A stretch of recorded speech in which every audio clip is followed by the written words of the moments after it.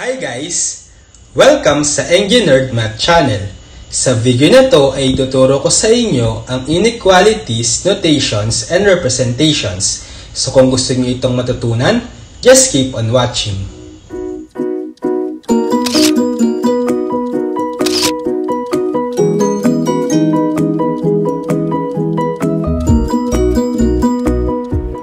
Okay, so far sa mga videos na naturo ko sa inyo, ay nagdidil lang tayo sa equalities. Meaning, gumagamit lang tayo ng equal symbol na nagre-represent na ang dalawang quantities or variables ay equal. This time, discuss ko naman sa inyo ang inequalities, which from the word itself, inequality, quantities na hindi equal. So, define natin kung ano ang inequality.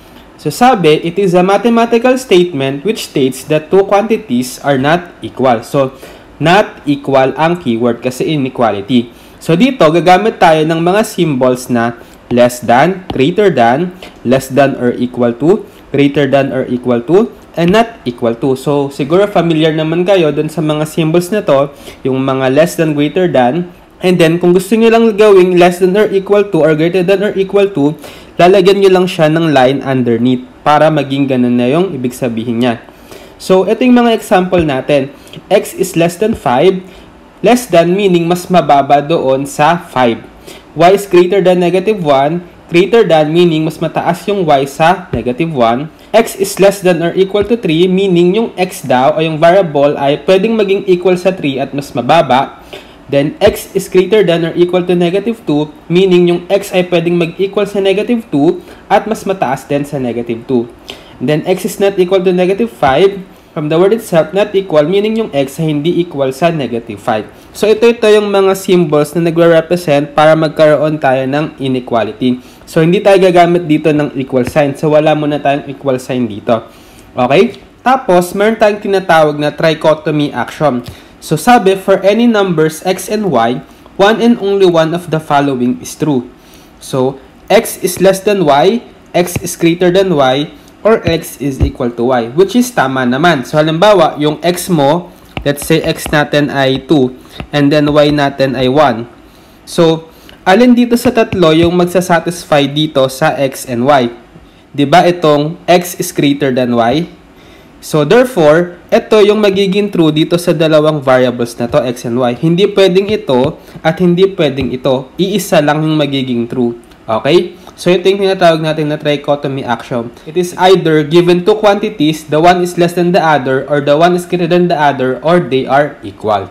Okay? Okay. So, this time, dumako naman ngayon tayo sa notations and representations of inequalities.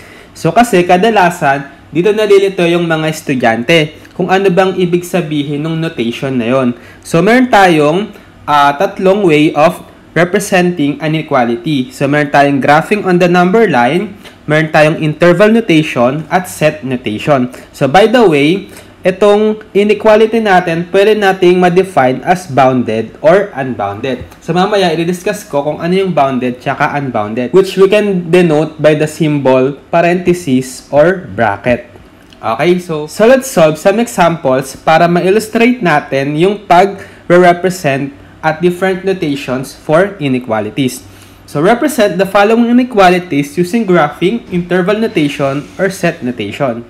So since isang way ng pagre-represent ng inequality ay ang paggamit ng number line, nagdrawing ako dito ng isang number line. So sa number line, obviously, isa lang siyang line na mayroong mga nakasulat na numbers. So yung gitna ng number line ay yung origin o yung 0. Tapos nahati ito sa dalawang region. Doon sa kanan ng number line, ito yung mga positive numbers from 1 up to infinity. So, kaya meron tayong arrow dito that denotes na nag extend infinitely yung uh, number line up to positive infinity. So, ito yung symbol ng positive infinity. Walang katapusan. And then, dun naman sa kaliwa ng 0, meron din tayong arrow na nag extend infinitely na nagde-denote na negative infinity. Meaning, habang lumalayo tayo sa origin pakaliwa, bumababa ng bumababa yung number. So, kapag pakanan, pataas ng pataas, kapag pakaliwa sa origin, ay, ay nagiging more negative or bumababa yung number line. So, mahalagang concept to pag ginamit natin to sa pag-represent ng inequality. Okay? So for the first example, we have the notation x is greater than 4. So ibig sabihin, lahat daw ng numbers sa number line na nire-represent natin with the variable x ay dapat mas malaki sa 4. So take note of the symbol that we use, greater than lang. Wala yung line underneath which is not equal or greater than 4. So therefore, pag ginrap natin ito sa number line, unang step, check nyo kung ano ba yung included number which is 4. So, punta kayo doon sa number line at number 4. So, kapag greater than yung symbol, lalagyan nyo siya ng bilog. Okay, open. Or pwede rin yung symbol na parenthesis. Like that. So, pwedeng bilog or parenthesis. Ngayon, dahil greater than yung symbol natin, uh, susundin nyo yung direction ng arrow na papunta sa kanan. So, yung bilog, lalagyan nyo ng arrow na papunta sa kanan. Which denotes na mag-e-extend siya infinitely from 4 kasi nga greater than 4 siya. Gagamit kayo ng bilog kapag uh, greater than lang, walang line underneath or kaya parenthesis. And then, kung greater than, dapat yung direction ng arrow nyo ay papunta sa kanan. Okay? So, dapat consider nyo kung saan nyo lalagay yung bilog kung anong included na number doon sa inequality. Okay? So, next, punta naman tayo sa equivalent interval notation ng x is greater than 4. So, kapag interval notation, gagamit tayo dito ng parenthesis or bracket. So, since ang symbol natin ay greater than at walang line underneath the symbol, tinatawag yon na open. So, gagamit tayo kapag open ng parenthesis. Open interval and then bracket kapag closed interval. So, kapag walang line underneath the greater than or less than symbol, open. So, gagamit tayong parenthesis. So, therefore, lagi tayong mag-start sa open parenthesis and then kapag greater than, isusulat nyo after dun sa parenthesis yung given number which is 4. And then, comma, tapos, kung mapapansin nyo, dito sa number line, nag extend siya infinitely pataas ng pataas. So, di ba sa number line, nilalagyan natin ito ng positive infinity sa dulo to denote na nag extend yon infinitely pataas. So, therefore, dito rin, lalagyan nyo rin to ng positive infinity. And then, close parenthesis. So, ibig sabihin nito, the interval is 4 up to positive infinity, not inclusive. So, kapag parenthesis tayo, ibig sabihin, not inclusive yung 4. Unless, pag close na, inclusive yung 4. So, mamaya biyan kayo ng example sa close. So, ito yung interval notation for x is greater than 4. So, mapapansin nyo, itong interval notation natin, pwede natin itong ma-describe as open, unbounded, interval. So, open siya kasi nga hindi kasama yung 4 doon sa interval at unbounded siya kasi nga yung dulo niyang isa dito ay nag extend positive infinity. So, therefore, wala siyang limit, unbounded. Okay? So, yun yung ibig sabihin ng open unbounded interval. Okay? Next, dako tayo sa set notation.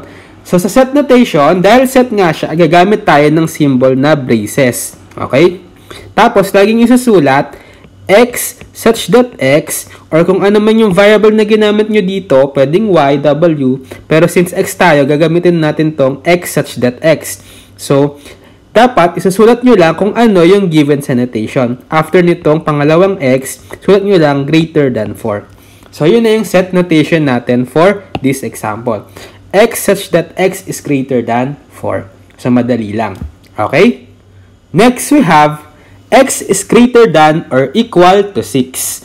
Okay, so since ang symbol na natin ay greater than or equal to 6, ibig sabihin nito, lahat ng number doon sa number line na na-represent ng variable x ay dapat equal or mas mataas doon sa 6. Okay, so graph natin. So this time, punta tayo sa number 6. So, lagyan nyo ng bilog. Okay, so since ngayon na meron tayong line underneath the greater than symbol, hindi bilog yung ilalagay natin. Lalagyan natin ng shade. Okay? And then, dahil greater than, yung arrow ay papunta doon sa kanan. Ibig sabihin, nag extend siya positively. Okay? Yan. Or pwede rin dito, gamitin nyo ay bracket. So, parang ganyan. Same lang yan. Okay? So that is the representation of x is greater than or equal to 6 using number line. Now, punta tayo sa interval notation. So, this time, dahil nga meron tayong line underneath doon sa greater than symbol, gagamit na tayo ng bracket kasi closed na siya. Okay? Hindi siya open. Meaning, pag close, inclusive siya doon sa number na given natin. So, ganun pa rin, open bracket, and then kung ano yung given number, susulat nyo, 6. Dahil greater than or equal tayo, dapat meron tayong positive infinity dito sa pangalawa. And then, close parenthesis. So, ibig sabihin din, nag extend infinitely yung mga numbers starting from 6 inclusive ba? So, tinatawag naman natin ito ngayon na closed, unbounded, interval. Sorry, wag nyo palang lalagyan ng uh, bracket kapag infinity or negative infinity yung dulo. Sa dapat open to. Kasi hindi naman inclusive yung infinity. Kasi nga, hindi tayo define kung ano ba yung magiging last value kapag positive or negative infinity. So, wag yung gagamitan ng bracket, yung positive or negative infinity ah. Okay. So, kaya closed unbounded interval, meaning closed kasi inclusive yung number na given doon sa inequality, which is 6. And then, unbounded pa rin kasi nga, yung right side ng interval natin ay hindi defined or walang specific final value kasi nag extend infinitely in positive direction. So, unbounded interval siya. Okay? And then, for the set notation, Ganun uli, drawing kayo ng braces, and then x such that x, kokopyahin nyo lang tong given notation natin na greater than or equal to 6. Okay? Next, we have x is less than negative 1. Okay, so, since wala tayong line underneath the less than symbol, gagamit tayo ng open parenthesis. Okay, so, ibig sabihin, lahat daw nung number na represent nung variable x ay dapat less than sa negative 1 at hindi inclusive yung negative 1. So, punta tayo doon sa negative 1. So, pilugan natin yung negative 1. Open siya, wala siyang shade kasi nga open interval tayo. And then dahil less than tayo, yung direction ng arrow natin ay papunta sa kaliwa. Meaning, pababa ng pababa. Okay? So, pwede rin palang gamitin natin dito ay parenthesis. Okay? napapunta din yung arrow ng line sa kaliwa. Okay? Next, for the interval notation, okay, ganun pa rin, but this time, itong una nating isusulat ay after nung open parenthesis, negative infinity. Ibig sabihin, mag-extend infinitely papunta sa negative yung number. And then, after nung negative infinity, doon natin isusulat yung negative 1. And then, close parenthesis kasi nga, hindi tayo inclusive kasi open interval tayo. Hindi tayo gumamit ng line under doon sa less than symbol. Okay, so yun ang tatandaan nyo ha. Kapag less than yung symbol natin, mauuna nating isulat sa interval notation yung negative infinity. Di ba kanina kapag positive infinity, kapag greater than, nasa pangalawang section yung positive infinity. Right? Kapag lesson naman, nauuna yung negative infinity, followed by kung ano yung given number. Okay? So, wag nyo rin lalagyan ng bracket yung negative infinity ha, kasi hindi naman tayo sure kung ano yung magiging last value for negative infinity. So, undefined siya. Okay? So, ito, tawag din dito ay uh, open unbounded interval. Okay?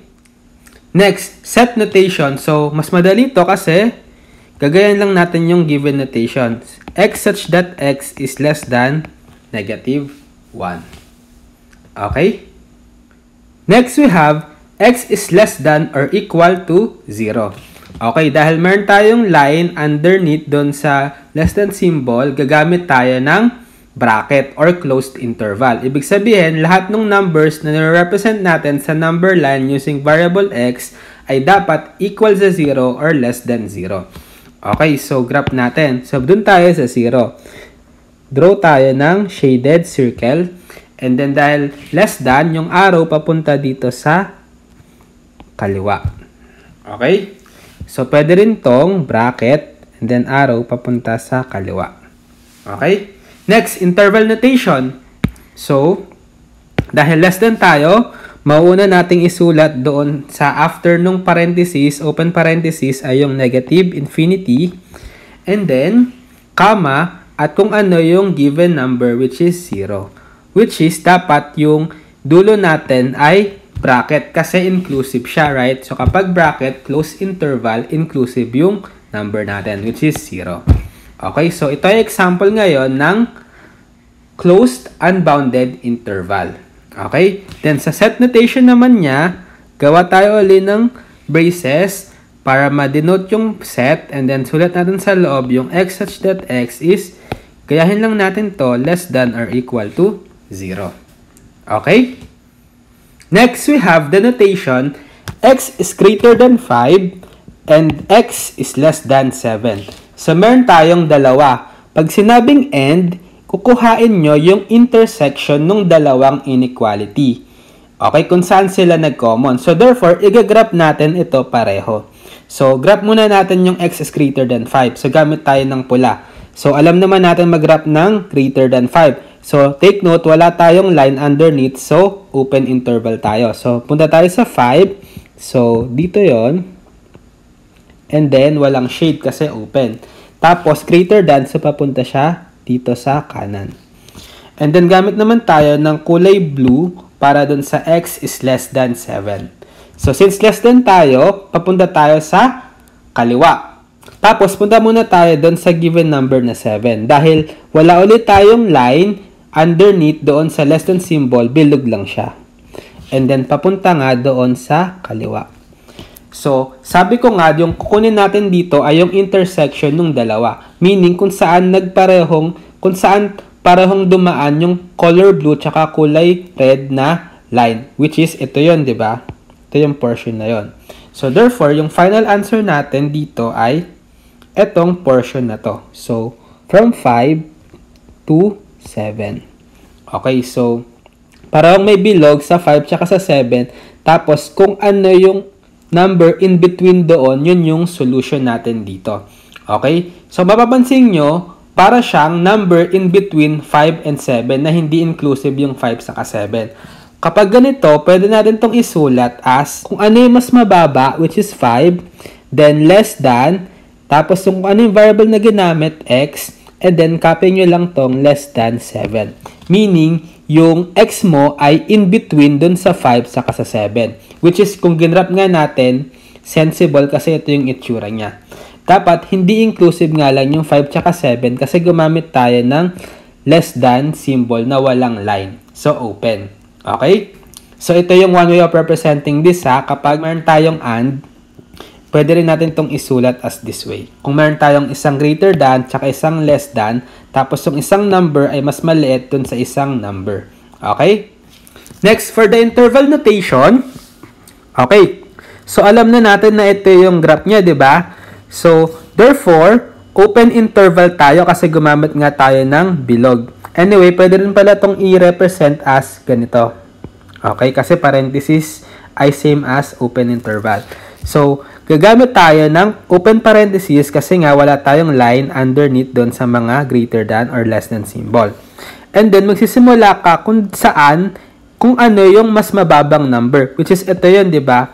Which is 5. So, sulat mo yung 5, and then, comma, pangalawang number, which is 7. And then, close parenthesis. Parenthesis yung ginamit natin kasi not inclusive yung 5 tsaka sa 7. Ibig sabihin nito, yung number between 5 and 7, yan yung solution natin. Okay, so tinatawag ito na open, this time bounded interval. Open kasi gumamit tayo ng parentheses, meaning hindi inclusive yung dulong 5 tsaka 7. Bounded na this time kasi meron na tayong boundary doon sa solution natin. Unlike doon sa kanina, nag extend siya positive infinity or negative infinity. So wala, so wala tayong boundary sa isang side. But this time, both side, meron tayong boundary, which is yung 5 tsaka 7. So kaya tinawag siyang bounded interval. Okay? Then, for the set notation, ganun lang din. Pwede nyo isulat to as x such that x is greater than 5 and x is less than 7. Or, ito na lang, x such that 5 is less than x is less than 7. Okay? So, by the way, pwede rin pala itong isulat as x is greater than 5 intersection x is less than 7. Okay? Next, we have x is greater than or equal to negative 2 and x is less than or equal to 1. So since meron tayong line underneath the greater than or less than symbol, it is a closed interval or gagamit tayo ng bracket at shaded circle. So pag ginrap natin to, graph ko muna itong x is greater than or equal to negative 2. So punta tayo sa negative 2. So shaded circle dahil may line underneath the greater than symbol and then dahil greater than, papunta tayo sa kanan. Okay, doon naman tayo sa x is less than or equal to 1. So, therefore, punta tayo sa 1. And then, bilugan natin, shaded circle. This time, the less than, papunta tayo sa kaliwa. Okay, so parang ito rin yung kanina. Ang difference lang ay uh, close interval tayo. So, therefore, ang solution natin ay kung saan parehong dumaan yung blue tsaka red line, which is ito yon di ba? So, therefore, ito yung final answer natin. Parang bilugan natin yung negative 2, shaded ah, hanggang 1 shaded din. Or pwede ring bracket, right? So, therefore, pwede nating i-represent yung inequality na to as x is in between negative 2 and 1. So, our negative 1 is less than or equal to x or less than or equal to 1. Okay? So, ganun uli, palatandaan nyo kapag meron kayong greater than tsaka less than, tapos meron kayong number na mas mababa doon sa isa, automatic, parang interval yung mangyayari doon. Yung x nyo magiging number in between doon sa boundary. So, in interval notation, ganun uli, since close interval nga talaga gamit tayo ng bracket, tapos kung ano yung mas mababa din sa dalawa, sulat nyo as una. So, negative 2, then comma, ano mas mataas, 1, and then close bracket. So, therefore, it is an example of closed bounded interval. Bounded siya kasi meron siyang limit na dalawa na negative 2 tsaka 1 closed kasi inclusive yung negative 2 tsaka 1 doon sa inequality. So, pwedeng masama yung negative 2 tsaka 1 doon sa value ng x as well as yung mga number in between doon. Okay? Now, sa set notation, ganun ulit, sulat kayo ng braces, sulat nyo x such that x, pwedeng kung ano yung given natin, x is greater than negative 2 and x is greater than or equal to 1. Or, the set of x such that negative 2 is less than or equal to x is less than or equal to 1. Okay? Next, we have x is greater than 4 and x is less than or equal to 6. Okay, so graph muna natin yung x is greater than 4. So, mapapansin nyo, magkaiba sila. Yung, yung isa, walang line or not inclusive yung 4. Then, yung isa, may line or inclusive yung 6. So, dito tayo sa 4 muna. So, gagamit tayo ng open circle kasi nga, wala tayong line underneath. So, dito tayo sa 4, bilog lang, or pwede ring open parenthesis, then dahil greater than, papunta tayo sa kanan. Okay, doon naman tayo sa x is less than or equal to 6, gamit tayong blue. So, punta tayo sa 6. So, this time, dahil merong line underneath dun sa less than symbol, shade natin yung bilog sa number 6. Or pwede tayong gumamit ng bracket. Dahil less than, papunta naman tayo sa kaliwa. Okay. So, therefore, ang solution natin ay itong interval kung saan nag-meet yung blue tsaka red color. So, ito yon di ba? So, therefore, yung final answer natin ay open circle up to 6 na closed circle. So, from 4 to 6. Yung sa 4, open circle or parenthesis. Din sa 6, closed, uh, shaded circle or bracket. So, therefore, pwede natin itong isulat also as, kung mapapansin nyo kasi parang meron siyang interval in between dun sa 4 tsaka sa 6. So, parang uh, 4 less than less than, walang line kasi yun yung ginamit natin kasi open interval tayo sa 4. X, this time, less than or equal to 6.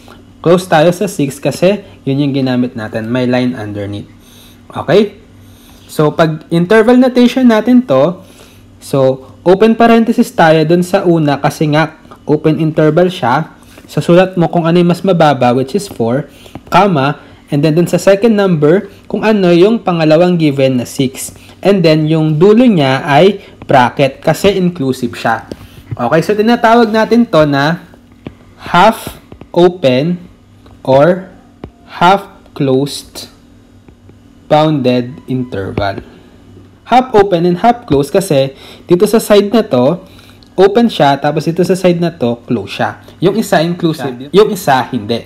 At bounded, kasi mayroong boundary yung variable natin na x, which is from 4 to 6. Okay? Tapos sa set naman, we have x such that x is greater than 4 and x is less than or equal to 6 or x such that 4 is less than x is less than or equal to 6. Okay? Next we have x is greater than or equal to 0 and x is less than 2. So para lang ding tong yung example number 7 pero this time yung una nating inequality naman yung merong line underneath, which is yung greater than or equal to 0. Then yung pangalawa naman yung wala, which is less than 2 lang. So graph muna natin tong x is greater than or equal to 0. Dahil meron tayong line underneath the greater than symbol, gagamit tayo ng shaded circle doon sa, sa given number which is 0. Okay? Or pwede ring bracket. So papunta siya sa kanan kasi greater than. Okay? Then, dun naman sa x is less than 2, gamit tayo ng blue, punta tayo sa number 2, dahil wala, tayo, wala tayong line underneath the less than symbol, open circle lang, or parenthesis. So, dahil less than, papunta tayo sa kaliwa. So, yung sagot uli dito ay yung intersection nung red tsaka blue kasi naka-end tayo, which is itong portion na to, di ba? So, therefore, our final answer is close circle from 0 to open circle to 2. So, parang interval uli siya. So, in interval notation, yung gagamitin natin dito sa uh, opening ay bracket kasi inclusive siya or meron tayong line underneath the greater than symbol. Tapos, sulat nyo kung ano yung number na mas mababa which is 0, comma, and then yung pangalawang number which is 2, and then this time, close parenthesis. Kasi nga, open yung inequality natin dito sa less than 2. So, parenthesis yung gagamitin natin, not inclusive. So, therefore, it is also an example of half open or half closed bounded interval. So, ang boundary niya ay from 0 to 2 with 0 inclusive and 2 not inclusive. Okay? So, pwede pa rin pala uli natin itong isulat as uh, 0 is less than or equal to x is less than 2. Okay? Meaning yung x ay in between 0 inclusive at 2 not inclusive. So sa set notation, gamit tayo ng braces. So we have x such that x is greater than 0 and x is less than 2. Or, ito pa natin isulat, x such that 0 is less than or equal to x is less than 2. Okay? Next, we have x is less than or equal to 1 or x is greater than 4. This time, yung ginamit natin ay hindi na and or hindi na and, which is or na. Meaning, kapag or, hahanapin naman natin yung union nila. Okay? Or gagamit tayo ng symbol na u. Kanina, ba diba, sa and, ganon. Ngayon sa or, ito yung symbol na gagamitin natin. Parang ano to? x is less than or equal to 1 union x is greater than 4. So, ganun pa rin, graph pa rin natin to isa-isa. So, dito, close interval tayo kasi meron tayong line underneath the less than symbol. So, gagamit tayo dyan ng shaded circle sa number 1. And then, dahil less than, papunta siya sa kaliwa. Or pwede ring bracket na papunta sa kaliwa. And then, dito naman tayo sa x is greater than 4. So, gamit tayong blue. Punta tayo sa number 4. Open circle lang kasi wala tayong line underneath the greater than symbol or open parenthesis lang. And then dahil greater than, papunta tayo sa kanan. Okay. So mapapansin nyo, wala silang intersection. Walang nag-meet na both red tsaka line. So kaya, ang ginamit natin dito ay or. So, therefore, yung solution natin ay itong dalawang to, which is, wala tayong solution in between dito sa 1 tsaka sa 4. Itong binilugan ko. Ito lang yung solution natin. 1 up to negative infinity inclusive and then 4 up to positive infinity not inclusive. So, in interval notation, ganun din. So, ito muna tayo sa x is less than or equal to 1. So, dahil less than nga tayo, gagamit tayo ng uh, negative infinity and then open parenthesis, comma, dahil inclusive tayo, gagamit tayo ng bracket, tapos susulat natin yung given na 1. And then sabi ko nga, dahil or, lalagyan nyo ng symbol na union. Okay? Then naman tayo sa x is greater than 4. So, dahil greater than tayo, at open interval tayo, walang line underneath the greater than symbol, gamit tayo ng open parenthesis, and then sulat natin yung given number which is 4, comma, and then extending up to positive infinity. So, so sulat tayo ng positive infinity symbol. And then, close parenthesis. So, ito yung interval notation natin for this solution. Okay? So, sa set notation naman, ganun din, pwede namang nating isulat lang to x such that x is less than or equal to 1 or x is greater than 4. Okay? Or x such that x is less than or equal to 1 union x is greater than 4. Okay? So ito, mapapansin nyo, ano siya? Unbounded siya. Unbounded kasi nag extend infinitely yung mga solution in both sides. So, negative infinity tsaka positive infinity.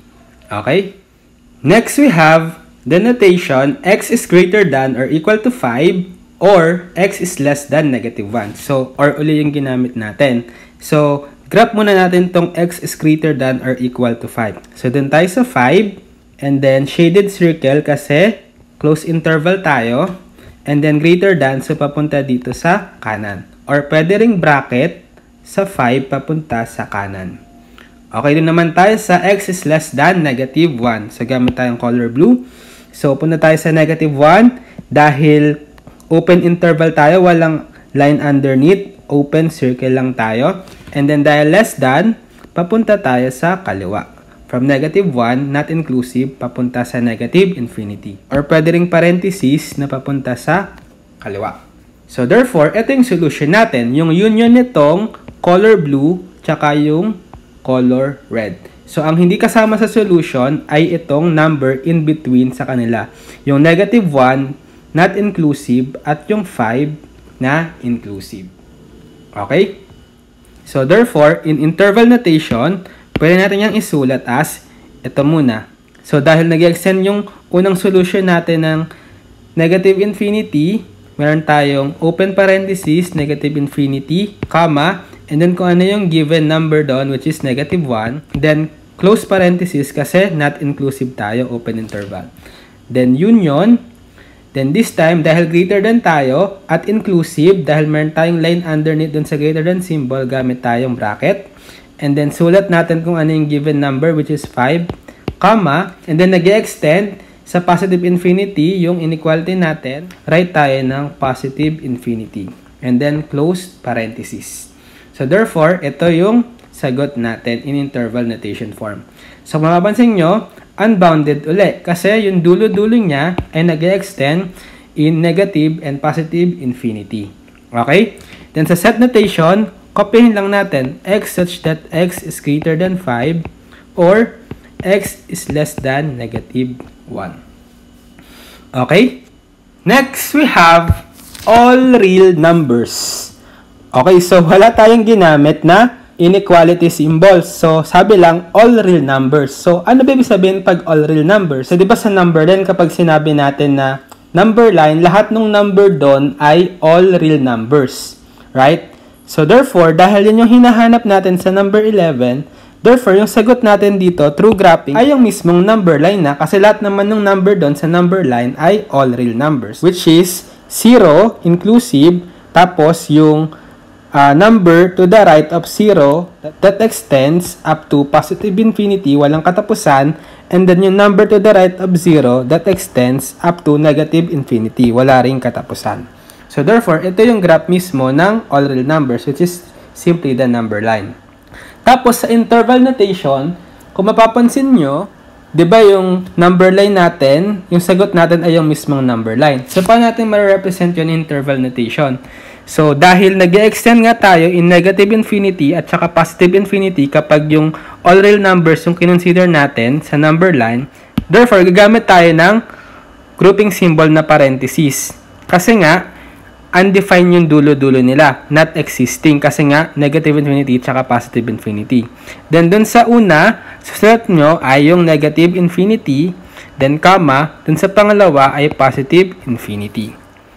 Okay, ibig sabihin nito, all real numbers. Lahat ng numbers na nag extend from negative infinity up to positive infinity. Okay? Next, set notation. So, ganun ulit. x such that x is real number. So, pwedeng word na lang. Or, x such that x is a member pag i-member yon of real number. Itong r, nag-represent yan usually ng real number. Okay? Okay, so I think that's it for this topic, inequalities. So, mahalaga na alam nyo yung representations at notations for inequalities. Kasi, yun yung way nyo ng pagsusulat noong solution kapag nag-solve kayo ng actual inequality problem. So, kailangan alam niyo munang magsulat ng solution in different ways for inequalities bago kayo mag-proceed doon sa pagsosolve mismo ng inequality problems. Okay? So, sana ay may natutunan kayo sa video na to at maraming salamat sa panonood.